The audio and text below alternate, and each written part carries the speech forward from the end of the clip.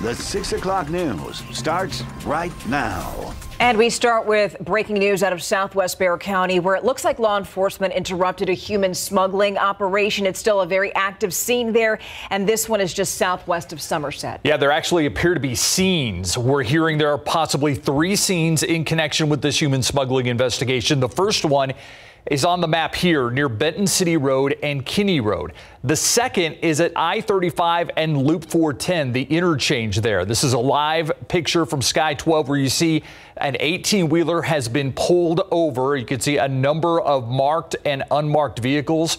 We are told that ICE is investigating this, so it does appear to, in fact, be a human smuggling operation. There is still yet a third unknown location at a home. John Paul Barajas is on Benton City Road and joins us live with what law enforcement are telling him right now. John Paul.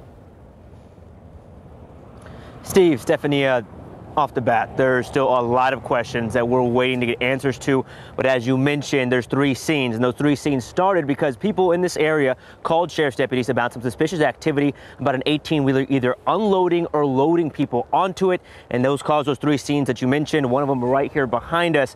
Now, in those three scenes, at least four people have been detained. You mentioned the one on the 410 935, the one we're at, and there's a third one. There's a third one at a home. We're still waiting to get the address of that home or why it's involved in this investigation. At this time, Bexar County Sheriff's deputies don't know how many undocumented migrants there might have been in this entire case. And right now, they're assisting Homeland Security investigations. So still lots of information to come from this. We'll try to bring you the latest as we can. John Paul Barajas, KSAT 12 News.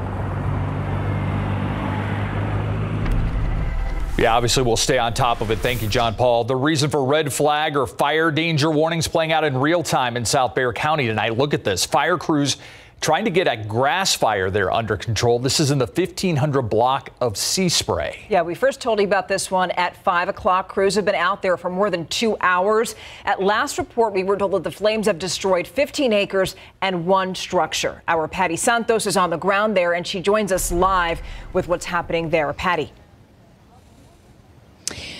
Well, the wind is definitely picking up right now as uh, we go into the evening. But I can tell you from what we're seeing right now, it looks like this fire, thankfully, is under control after all of those hours. But the situation is that this wind is going to continue, and this is what rural communities have to deal with. Look at all of this. This is all dry vegetation, dry uh, trees right next to homes. And so the people that live in these communities really have these two things to worry about their surroundings and also the lack of uh, fire hydrants in some cases to be near to these communities. So as we go into tomorrow, communities really have to uh, pay attention and hopefully keep an eye on those uh, open flames if, you know, don't burn anything at all. We're going to continue to stay here and bring you more updates. We're hoping to get an update on how many homes, if any other homes, were impacted here, and we're bring you that on the night beat. We'll send it back to you. All right, thank you, Patty. And that's an indication right there, mm -hmm. Adam, of just how dry it is outside. Very dry. Dew points have fallen down into the 30s and even into the 20s earlier today. So the very dry air in place, low relative humidity, and gusty winds. We had a peak wind gust of 41 miles per hour measured at the airport. Most recent wind gusts 39 miles per hour, and we've seen gusts all across our area of between 30 and 40 miles per hour throughout the day today. So it's a combination of the very dry air and the gusty wind that can spread flames rapidly. So even discarded cigarettes, anything that could cause a spark can quickly ignite a, grass fire. And the grass is very dry right now as well. It's like tinder out there. A cold front has moved in. You see this big temperature difference. We go from 44 in Fredericksburg to 52 in San Antonio to 73 in Cotulla. Huge temperature difference. Our temperatures are dropping quickly this evening. They're falling off fast. Grab a jacket. Chilly out there and, and remaining gusty as well. The winds are going to be howling at about 30 miles per hour overnight periodically and mostly clear near freezing in the morning. We're going to talk about what this cold front means for the rest of tomorrow on into the weekend and even a shift in our pattern that includes some rain chances in a bit. Thank you, Adam. $10 million worth of liquid meth. That's what police in the city of Pharr found during a drug seizure. Yeah, those drugs were on their way actually to a place far away from the border, but the seizure itself is part of a much larger pattern. Our Alicia Barrera spoke with Bexar County Sheriff Javier Salazar about all the drugs that investigators are finding in our communities. Look at this. While on patrol, officers in the city of Pharr observed something unusual about these tanker trailers. Three men were pouring a liquid from large barrels into five gallon buckets. The liquid was tested and determined to be methamphetamine or meth, a potent and addictive stimulant drug the Bexar County Sheriff's Office has a close eye on. It is concerning that we're seeing these things come through, but on, on the bright side of things, we are doing a good job of catching it. And they're working with local, state, and federal authorities to do so. It's quite possible that there's more flowing through. According to BCSO, last month, cocaine led their drug seizures at more than 23,000 grams with a street value of about $928,000. Meth came in at second place with more than 9,000 grams valued at nearly $200,000 taken off the streets.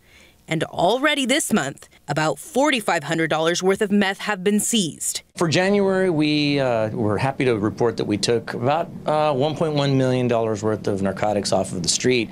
Uh, here for February, it looks like we're on track to, to uh, better that. The big goal for BCSO is to prevent violent crimes. And according to Sheriff Salazar, the drugs that are linked to violence in Bexar County aren't the kilos of meth or cocaine.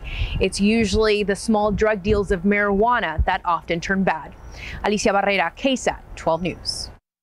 The I's are dotted, the T's are crossed. San Antonio is set to kick off its Ready to Work training and education program in just a few weeks. City Council approved a half dozen contracts today that were needed to really get things started. City Hall reporter Garrett Brnger tells us how it all breaks down.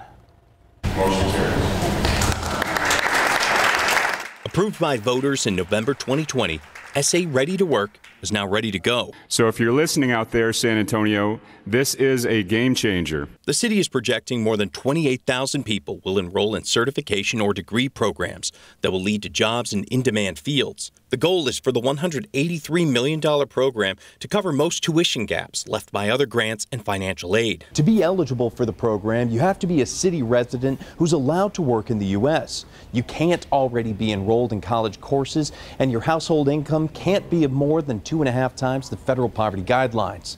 That's about $34,000 for an individual. The city has trumpeted its partnerships with local employers who have pledged to hire program graduates and whose guidance helps determine what kind of training is offered. As they begin to tell us, here are the occupations that are most critically in need, here are the skill sets, the credentials that individuals need to have to obtain those jobs. Though the city will bankroll Ready to Work with sales tax dollars, it is contracted with four different groups to actually handle the intake and case management.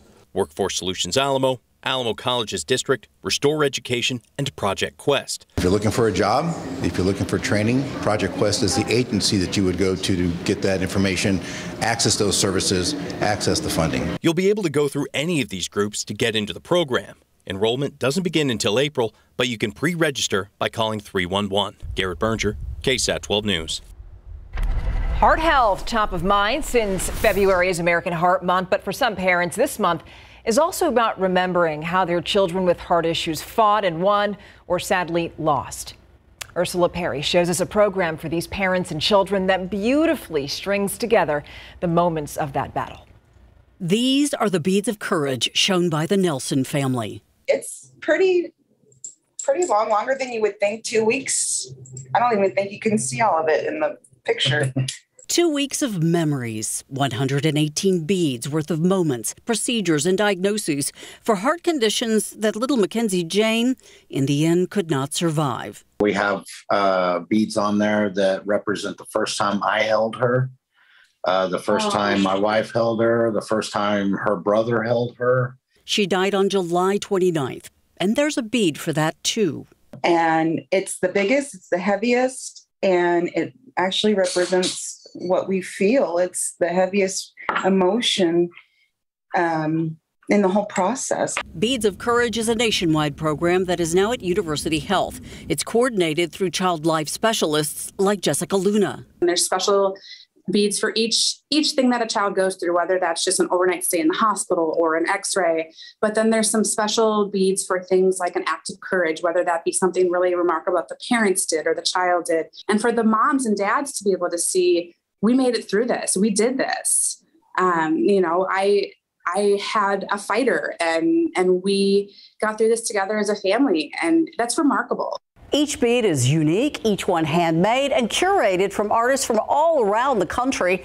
Some families have had the luck of having multiple strands, sometimes with hundreds upon hundreds of beads, recording their acts of courage and heart.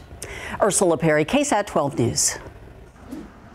Check out traffic right now. Let's go to 410 and Evers. This is usually a busy spot. Not too bad right now, though. As you can see, traffic in both directions moving smoothly.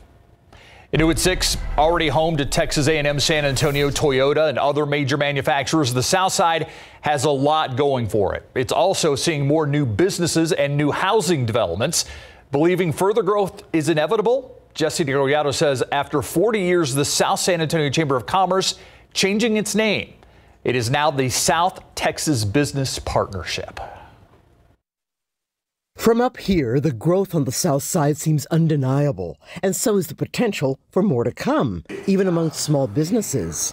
Southside Craft Soda, postcard of South San Antonio for me. We give everything a South Texas twist. As the South San Antonio Chamber's former Economic Development Director, Andrew Anguiano says this part of town can do what others can't. Capture South Texas perfectly, right? With the same geography, culturally similar. How do we kind of connect our commonality for economic prosperity? A realization which led to the South San Antonio Chamber of Commerce rebranding itself as the South Texas Business Partnership. The theme for South Texas Business Partnership is All Roads Lead South. By making the most of San Antonio's strengths, for instance in manufacturing and logistics, and its relationships with communities to its south, ahead of even further growth. I think collectively we all know that we have a responsibility to do it well, to plan it well, and working together is going to get that done. We all want to be successful, and the way to be successful is together.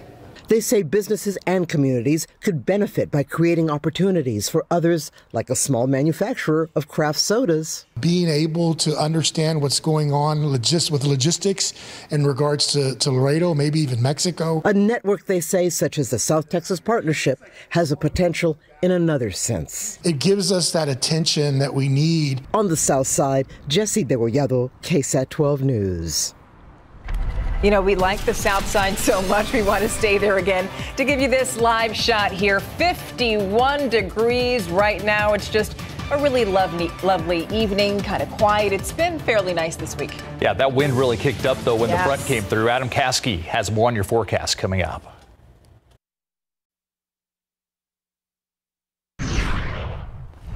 All right, so the weather outside, man, beautiful day. Then the wind kicked up and the temperatures, whoo, dropped off. Also, we're under a red flag warning, which is why we're also, we warned you about this, that whenever the winds kick up, you're going to see more of this also because it's so dry out Mhm. there, Adam. We need rain.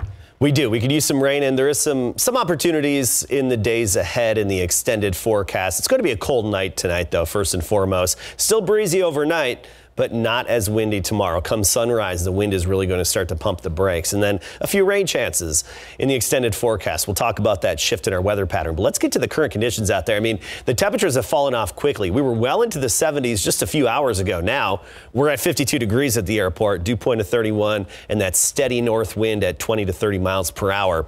You look at the dew points, mostly down in the lower 30s, so the dry air is in place. Combined with the gusty winds, it gives us that higher fire danger in the sense that if a fire starts, such as a grass fire, wildfire, or even structure fire, it can spread rapidly. And now there is going to be a change, but not until we get into early next week. Tomorrow, Saturday, very dry air, but luckily not as windy. Sunday, still lack of humidity, but by Monday and Tuesday of next week, that's when you'll notice some stickiness back in the air for at least a brief period of time, a little bit of humidity early next week. Look at these temperatures across the state. We go from 78 in Laredo, even 79 Corpus Christi, to 32 in Amarillo. And you see where the wind is coming from. The wind's coming from the north, so it's pushing that cooler air southward. And we're just right in the transition zone at the moment with our temperatures quickly falling off. Not only because of that cold air getting pushed in, but also the sun setting. We're losing our daylight, and those temperatures are dropping quickly as a result of the two factors there. Cotulla still 73, Carrizo Springs 72.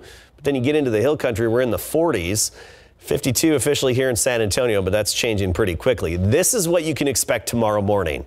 Most of us pretty close to the freezing point. I think north of Highway 90 is where we'll have a light freeze. But 28 Rock Springs, 31 Canyon Lake.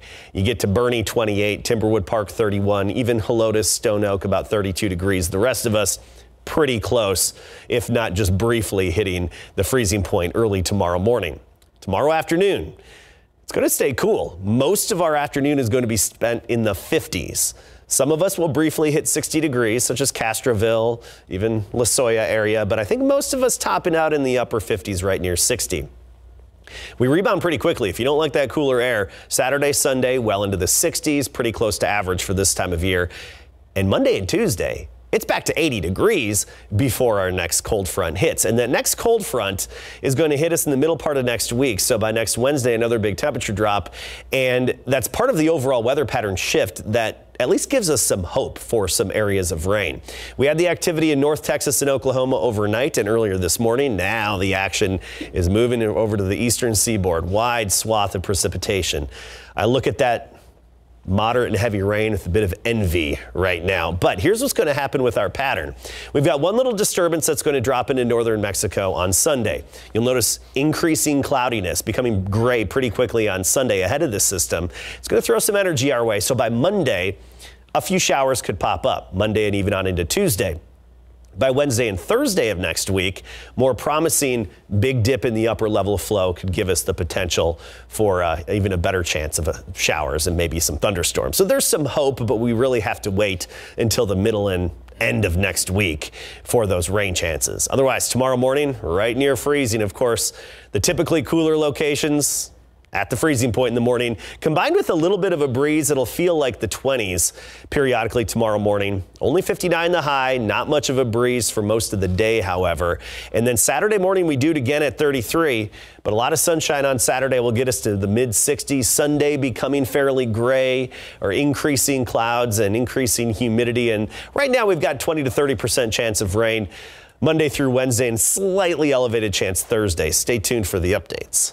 All right, Adam, thank you. Now we want to go back to some breaking news that we brought to you during the beginning of the show. We'll give you a live view here from Sky 12 where you're getting a look at a home. This is the third scene that police are investigating now as they investigate a human smuggling operation. We know that an 18 wheeler was in one of those scenes, uh, but this is one of the other scenes where police are investigating right now on South Kinney Road and Briggs. We're being told that there was a bus there and there's also a tow truck there on the scene taking away some cars. But we are being told that people were found in a vehicle. I think you're actually seeing some of those people who are sitting on the ground right now that were apparently the subjects of this human smuggling operation that was broken up. As we said, there were three different locations. This is the third one we didn't know, the home that we were wondering.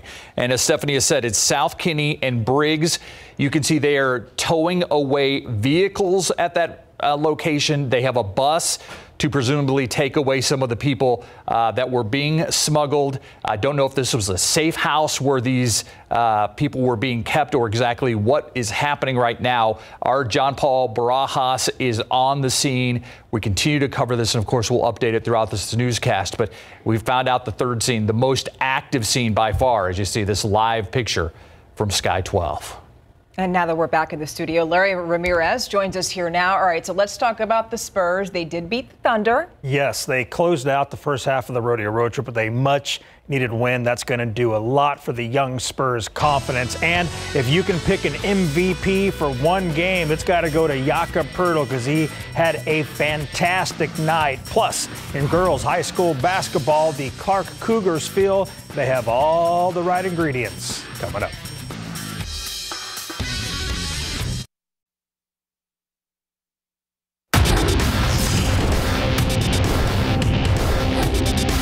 He was a star. I told him after the game, "You were a star tonight. We don't win the game without what you did tonight." without a doubt. Pop is talking about Jakob Poeltl, who had 20 points and a career high 17 rebounds last night in big board sports. Coach Pop picked up regular season win 1,333 last night after the Spurs beat the Thunder 114 to 106. He's now in sole possession of the number two spot in all-time regular season wins, and he needs three more to top Don Nelson for number one all-time. Keldon Johnson led the Spurs offensive attack last night with 22 points. He's one of six Spurs, including all five starters, to reach double digits. Jakob Poeltl was a beast with 20 points, 17 rebounds, and two block shots, his 19th double-double this season. Now, with six players out, the Thunder were forced to play a lot of small ball more than normal. Poeltl was asked if that helped the Spurs out.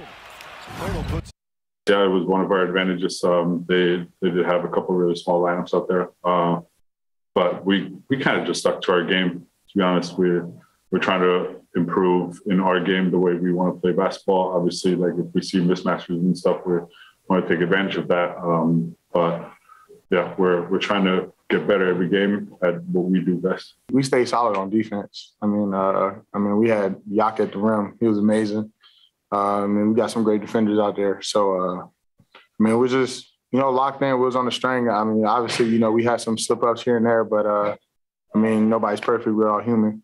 Uh, but so we just look at the film, get better, you know, and um, at the road trip on to the next game.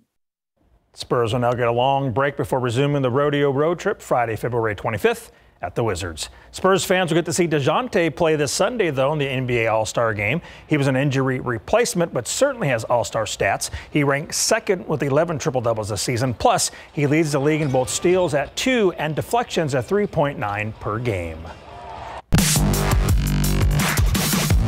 In girls high school basketball, the Clark Cougars opened the playoffs by beating Clemens 70-34 in the Class 6A by district round, and now they're getting ready to face Cedar Park Vista Ridge in round two. The Cougars are 31 and 2 overall and finished the regular season ranked third in the state in Class 6A by the Texas Association of Basketball Coaches. We asked Coach Huey why she thinks this team can win it all this season it's just that recipe that we have. You know, we have we have the talent. We have the height, we have the speed, um, we have the shooters, we have the defense, we have the chemistry, um, we have the, the, the basketball savviness. We've got the recipe, and they understand their roles too, and that's a big piece to it. You know, we don't. If you look at our stats, you don't have one player who's clearly outscoring another player. You, you try to shut down one player, another player steps up to the challenge, and that's really and truly what breeds success, not one player. Um, the unselfishness of our teammates is huge. They're not worried about how many points they're going to score. They're worried about how many points their team is going to score, and I think that's a big piece that sometimes we overlook. And, and you know, I understand. Have, you know, we've all played the game. You know, we understand. We want that. We want that stat. But at the end of the day, they understand the stat that's, that means the most to them is a win at the end of the night.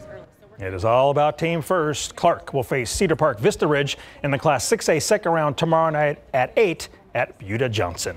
Playoff time. Playoff, yes. Yeah, thanks, Larry. We'll be right back.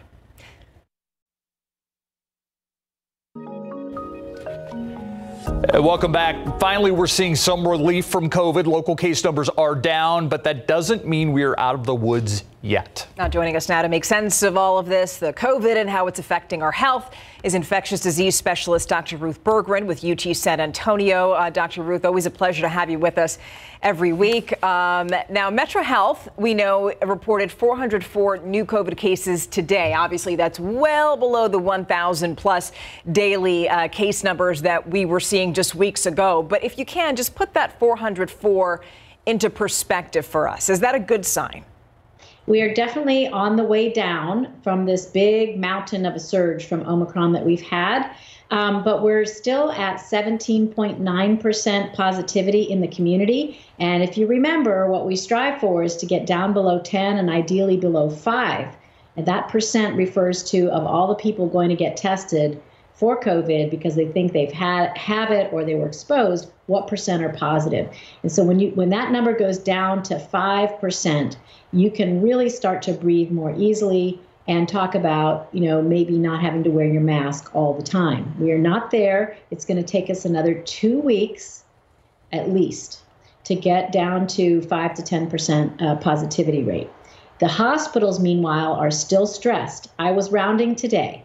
It no longer feels like we're in the throes of a horrible crisis as it used to, Um, however, there are lots and lots of people in the emergency room, and every day we get messages from our chiefs telling us to please please help move things along because folks are waiting in the emergency rooms to get in.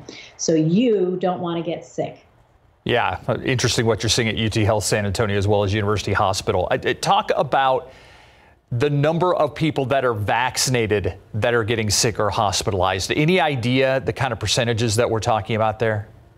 Yeah, so I think rather than talk about percentages which change, um, it's helpful to talk about some big principles. And there's been some studies released recently that are exciting to me, and I want to share that people who have had long COVID, who get vaccinated against COVID, actually have a reduction in their symptoms. So if you have long COVID and you've never been vaccinated, go get vaccinated. That's an important piece of information.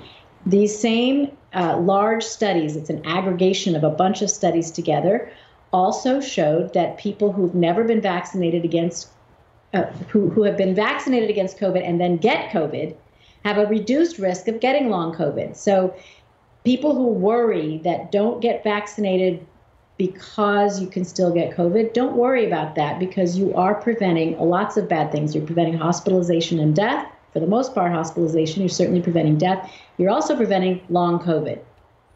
Very interesting numbers there. Now, you just mentioned a moment ago that you think uh, in about two weeks we're going to continue to, you know, we're going to continue to see these numbers go down, and maybe in two weeks we might see the most improvement. However, we know that already weeks ago some local school districts got rid of their mask mandates, and I'm assuming that you think that's not appropriate. It's not time for that yet to ditch the masks.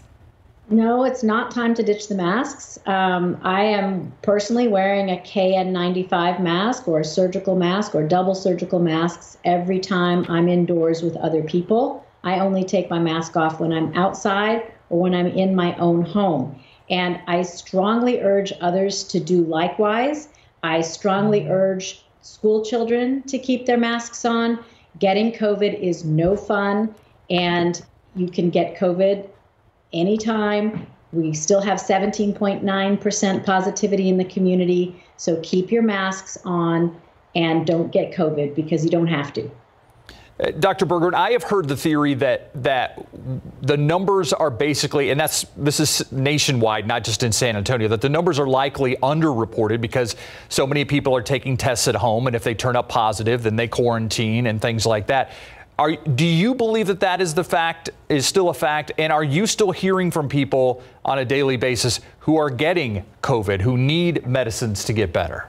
It's absolutely the case. Um, in the last week alone, I get one or two or three calls every single day from people that are in my social circle or in my world somehow that get referred to me and I'm having to prescribe for them medicines. Good news is I have something to prescribe. We have Paxlovid, Molnupiravir, fluvoxamine. We have really good medications now that can help people stay out of the hospital and prevent them from getting desperately ill. But the fact that I am seeing so many calls from so many people tells me that, in fact, the numbers that are being reported on the websites are definitely lower than what's happening. Now, as we head into the spring now, what are some things that we also need to be aware of? And the reason I'm asking that question is kind of side by side with the question that I asked you before, which is that, yeah, numbers are going down. However, during these last two years, we have been on a roller coaster. Well, um, you know, what could happen is that we could get a break for a couple of months, as we did back when the Delta surge ended and before the Omicron began and there could be another variant that would emerge from somewhere. Um, if that happens, we're not going to panic. We're going to continue to do what we know how to do, and we're going to continue to promote vaccination. But because that is a reality that could happen, all the people that are unboosted right now in San Antonio, they need to go and get their boosters. Absolutely go get your boosters. Protect yourself against the next variant that may come along. Dr. Ruth Berggren with the Long School of Medicine at UT Health San Antonio. As always, appreciate your time and your insight. Thank you. And we'll be right back after this. We all know that journals are special, but this one is giving us a look into the life of a woman who was pretty much a pioneer for the black community in Wilson County. RJ Marquez tells us about this remarkable woman who is now being honored after decades of dedicating her life to the education of black children. You might not recognize the name Minnie Washington Yates when it comes to black history in South Texas, but her impact in education is felt to this day. Washington Yates was born in 1878 in Wilson County. She's the daughter of former slaves and despite hardships, knew going to school meant a better life. She uh, actually attended Guadalupe College and that was uh, something very unheard of in that day and time for a, a person, a black person. Renee L. Winters Jackson is Washington Yates' great-granddaughter.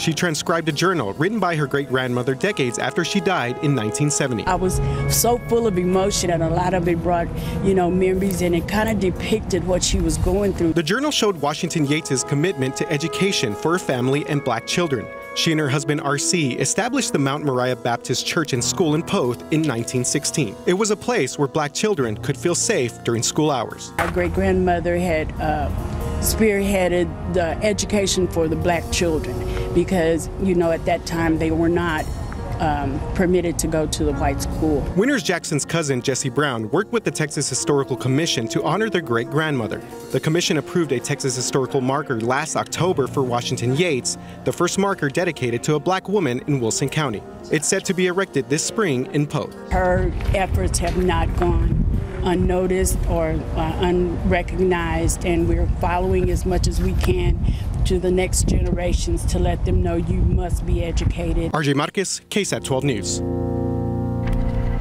Her efforts have not gone unnoticed. No, definitely not. I love it now that there's this push now to have more of uh, history from our black community here in our area now pushed to the forefront. It's really important. All right, here is a live look right now 50 degrees over our city here. Nice uh, live shot for us. Beautiful evening. Adam. Yeah, breezy out there, and temperatures are falling off quickly, okay? So you'll notice the temperatures falling pretty quickly this evening with the cold front that's moved through and that northerly wind. Now, earlier today, a little after 2 o'clock, we actually hit 76 degrees, but now we've dropped down to near 50. So the difference a cold front makes just in a matter of hours. And actually, we were over 80 south of town. This is earlier today. High temperature of 82 Pleasanton, even 85 Cotulla. But all temperatures are dropping quickly. We're going to talk about that, what you can expect tomorrow morning, who's likely to see a freeze, and even a shift in our weather pattern that could mean some rain in just a bit.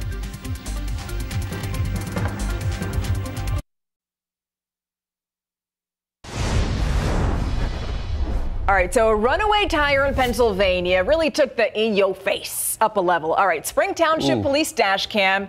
Look at that. Wow. In the perfect spot right there, so you can see all of it. That video shows the tire come off of an oncoming truck, hop the curb, heading straight just like that into the windshield of a parked cruiser. Inside that cruiser, two police officers. They were not hurt. The police unit, not so lucky. Yikes. As you can see, it took some serious damage from that tire hitting it, and it's going to need some time in the shop before it'll be ready to get back on the road for them. It is not the start of a good year. Oh, you know, Steve, you with those puns, I got to tell you. Yeah. Oh, I get it. uh, all right, wait, it's Thursday. Yes, Friday. You know what? You know how I was reminded of that? How? My friend Adam Caskey's tie. Yeah, that's right. This is the official Thermometer Thursday tie. It's got the logo all over. Oh, okay, nice. Okay, nice. Custom made by a good friend of mine, yes. All right, so right now we're right near 50 degrees, but look at 9 o'clock. We'll be at 43. 11 o'clock, at 40, and by midnight, we're going to be dipping down into the upper 30s. So get ready for a quick cool down this evening. All right, let's talk about everything. It's been a gusty day out there. Maximum wind gust to 41 miles per hour earlier today in San Antonio. Most recent gust 39, Hondo gusting to 32. You get the idea, and these winds will continue to be pretty high through the night tonight, and we still have some dry air in place, of course, with that northerly dry wind. Dew points right now right around the 30 degree mark. So very dry air has settled back into town after that brief little hint of humidity yesterday. It's going to stay dry into the weekend and Sunday, some increasing humidity, but you're not going to notice it. By Monday and Tuesday, you'll actually notice a bit of humidity in the air, and that's when our weather pattern shifts. And remember, humidity helps make us rain, helps generate rain. You need the humidity in the air, and it could help kickstart some showers. At least a slight chance early next week and possibly an elevated chance by the end of next week. Temperatures locally, for the most part, right near 50 degrees. Some locations, of course, in the upper 40s at this hour, but you go farther north in Texas, Amarillo's at 32, Lubbock 37, Abilene 36, Dallas 35. That's where the wind is coming from. So that cooler air is just continuing to be pumped into town, and our temperatures will rapidly be falling off this evening. So Cotulla, for example, you're at 73, but not for long. Carrizo Springs has already quickly fallen out of the 70s just during the last 30 minutes and is now down in the mid 60s. So we're seeing these temperatures fall off quickly. And this is what you can expect tomorrow morning, right near freezing for most of us, and even a little below freezing, especially north of Highway 90. So Canyon Lake, Kerrville, Bandera, Pipe Creek, Comfort, Sisterdale, we could go on and on. Basically, 1604 within San Antonio on the north side of town, uh, right around the freezing point, actually briefly hitting freezing, but elsewhere it's going to be pretty close. So take the necessary precautions for the plants and pets tonight, just in case, because it's going to be close everywhere. Tomorrow afternoon, we don't warm up a whole lot. After what we had the past couple of days, you know, 80 degrees, we're only going to be near 60 tomorrow afternoon. So think of it as most of the day will be spent in the 50s. At least most of the afternoon will be spent in the 50s. This weekend, we rebound back into the 60s. Then by Monday and Tuesday, back to 80 degrees, but then another cold front hits. Another yo-yo temperature roller coaster ride in terms of temperatures. So let's talk about our overall weather pattern. We had the showers and thunderstorms in North Texas yesterday, even West Texas. Today, all that activity has actually developed more and pushed eastward and moving on to the eastern seaboard. They've got that big shield of rain and even some snow across the Great Lakes, and they don't need it. That's why I look at that radar loop a little envious. They don't need it. This is the newest drought monitor issued today. We, of course, could use it. Now, this does not take into account the rain that fell last night along and north of Interstate 20. But you look around our neck of the woods, and we've got quite a bit of drought, especially Dimmit, LaSalle, McMullen counties. That's where we've got the deepest drought. But our overall weather pattern is going to be shifting a little bit. And as these disturbances start to drop in from the Pacific Northwest, by early next week and the middle of next week, it'll at least give us a shot at some showers and maybe an elevated chance by this time next week.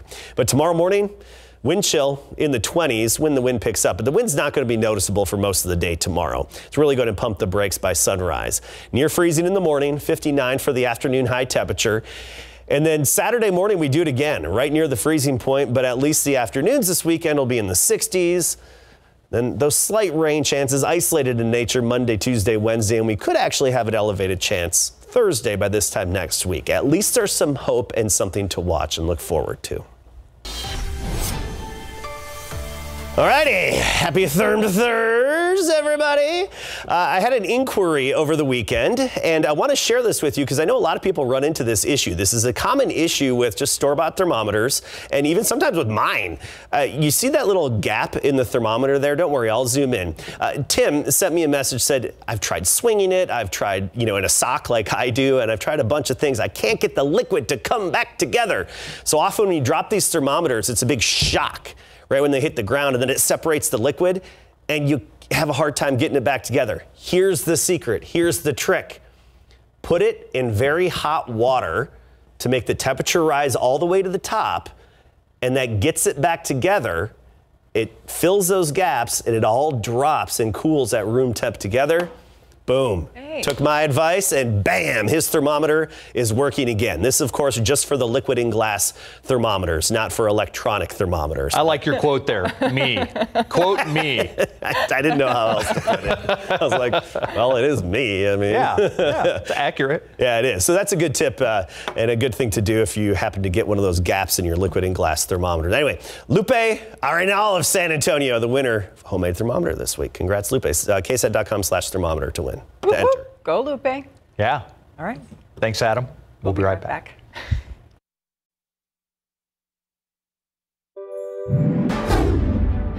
Good morning to you. It is Thursday, February 17th. New this morning, a scary scene for a driver who narrowly escaped a car explosion on the north side of town. This happened on Blanco Road and Loop 410 at the Park North Shopping Center, and that's where police say the driver pulled over after he heard two pops and noticed an orange glow from beneath his windshield wipers. He's able to get his things out of the vehicle before the front end lit up and exploded.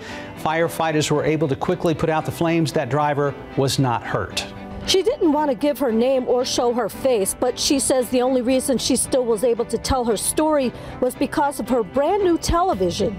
It was sitting in front of her window when bullets tore into it before 7 this morning, stopping them from hitting her.